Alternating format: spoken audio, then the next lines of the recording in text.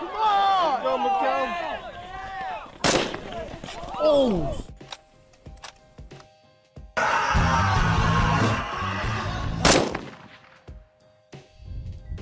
Солнце поднимается из-за горизонта только тогда, когда Чак Норрис открывает глаза.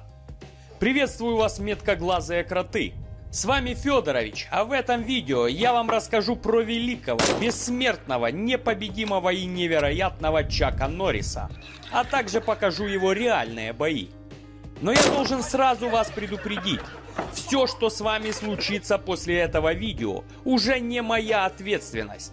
Ведь когда Чак Норрис засовывает два пальца в розетку, свет пропадает во всем городе. А что будет, когда он появится на ваших мониторах, я даже не могу представить. Ведь это именно он убил Мертвое море.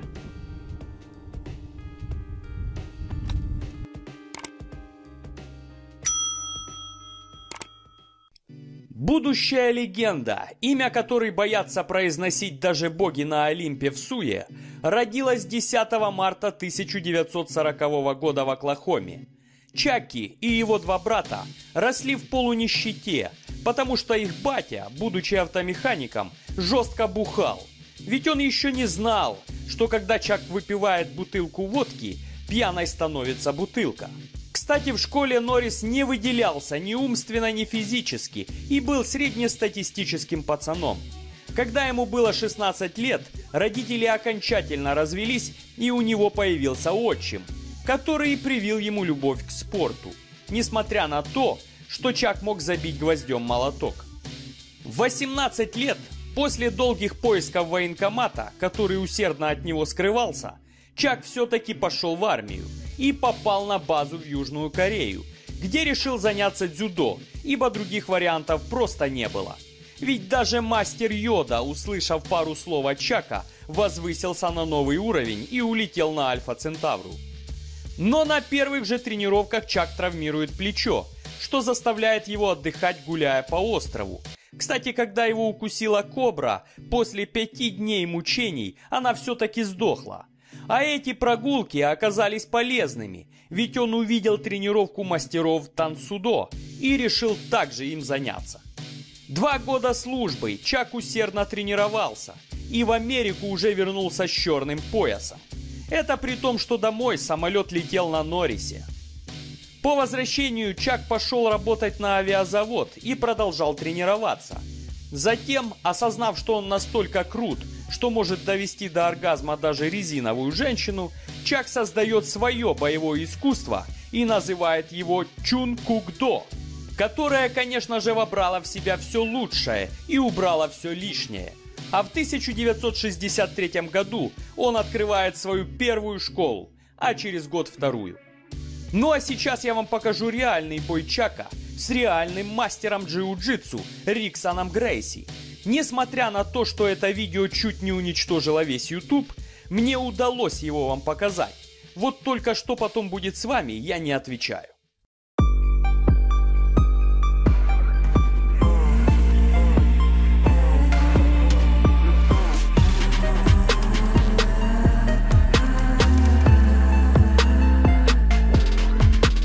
На первых секундах боя Грейси повалил Чака и заставил его сдаться, после чего Норрис решил заняться также и джиу-джитсу. Ведь он не подвластен времени, у него даже нет часов. Это время спрашивает у Чака, сколько нужно показать. В 1965 году Чак отправляется на чемпионат всех звезд по карате, где становится победителем, после чего набирает размах и к 1968 году уже имеет 32 школы по всей Америке. В этом же 1968 году он принимает участие в чемпионате мира по карате, который выигрывает, и это неудивительно, ведь слезы Чака лечат все болезни, но он настолько крут, что никогда не плачет. А бой из этого чемпионата мы с вами сейчас посмотрим.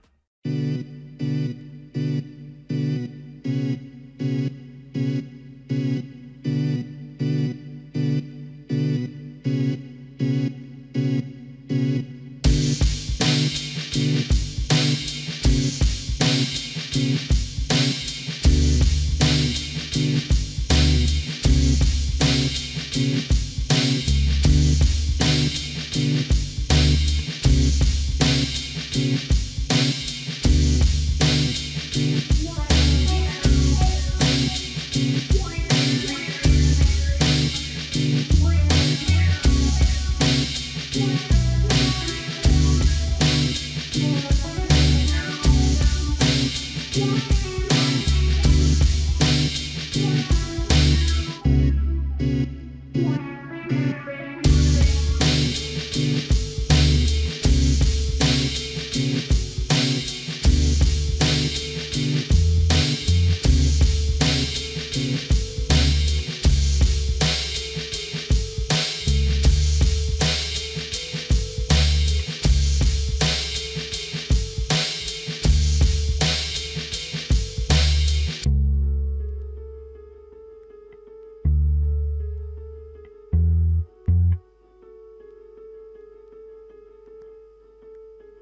Как видите, все происходит так быстро, жестоко и невероятно, что камера просто отказывается показать всю кровожадность этого события.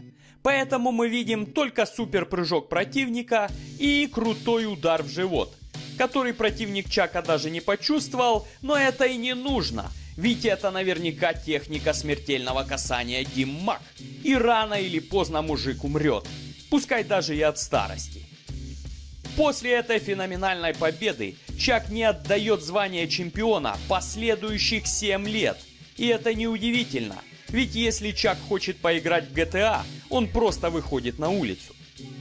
Но на этом же чемпионате мира Чак разрешил судьбе сделать ему подарок, и он знакомится с Брюсом Ли, который в 1972 году предложил ему сняться в фильме «Путь дракона», с которого и начался рассвет телевидения, ведь в нем появился Чак. Кстати, в одном из интервью Норрис сказал, что если бы ему пришлось реально драться с Брюсликом, у него бы не было шансов. Но мы-то знаем, что он это сказал лишь ради дружбы, ибо нельзя победить того, кто может убить циклопа между глаз. Чак снялся в огромном количестве фильмов с одинаковым сюжетом, а его эпогеем стал сериал «Уокер. Техасский рейнджер». В середине 90-х Чак владел несколькими казино, а в 1996 году открыл в Москве ночной клуб казино Чак Норрис Enterprise Беверли-Хиллз. Но чтобы в него попасть, нужно было перебить ребром ладони 10 силикатных кирпичей. Поэтому его успех понятен. Последний фильм, в котором Чак разрешил всему миру преклониться перед телеком, стал «Неудержимые», в котором собрались все авторитеты боевичков. После этого и по сей день он пропал с экранов и новостей. На самом деле Чак Норрис уже давно умер, но смерть боится ему об этом сказать, поэтому он продолжает вызывать у сигарет рак фильтра и каждое утро доходить до горизонта. А если серьезно, то у него очень больная жена, лечением которой он занимается, продолжая тихую и размеренную жизнь в своем уединенном, огромном доме в лесу. Ведь имея состояние в 70 миллионов долларов, которые он заработал на фильмах, казино и рекламе, он может спокойно жить. Ведь даже овцы считают Чаков Норрисов, чтобы уснуть. Подписывайтесь на канал, ставьте лайк, жмите колокольчик и делитесь видео с друзьями. А в комментах напишите, кто бы победил в реальном бою, Чак Норрис или Брюс Ли, или бутылка сивухи. Благодарю за просмотр и настойчивости в чакаровках. Пика! Все, спокой, спокой. Защита. Нога где-то. Раз, два. То вы любого человека, вот я могу двумя пальцами взять у человека вот так вот кадык достать, понимаете? Не напрягаясь.